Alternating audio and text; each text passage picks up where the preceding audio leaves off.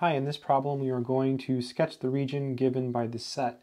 Let's go ahead and carefully work through it. Solution. So the first thing I'm going to do is draw a picture of the xy plane. I have my ruler here and I'm just going to do like a rough xy plane picture. So there's the y-axis and then here is the x-axis. All right, so this is x and this is y. Very good.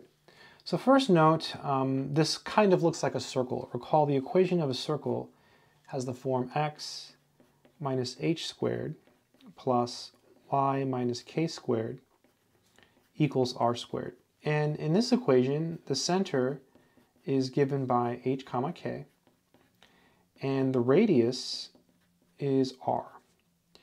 So if you look at this, if you ignore the less than and just pretend for a moment that it is equal to 4, what you have here is a circle with no h and k, right? So h and k are 0 and 0.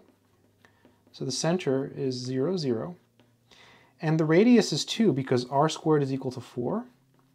And so when you set them equal, if you take the square root, you do get plus or minus 2, but radius a radius can't be negative, so it's just 2. So basically, this is a circle centered at the origin of radius 2 and we want all of the points such that x squared plus y squared is bigger than 4. So watch this. So here's 2, 2, negative 2, negative 2.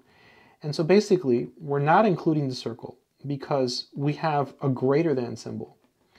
So it's everything outside the circle that we want. So it's basically all of this stuff here. That's going to be the answer. Everything outside the circle of radius 2 centered at the origin.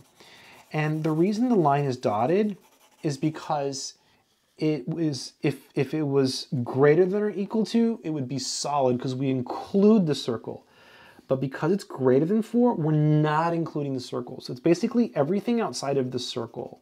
Okay, pretty cool problem. I hope this video has been helpful. Good luck.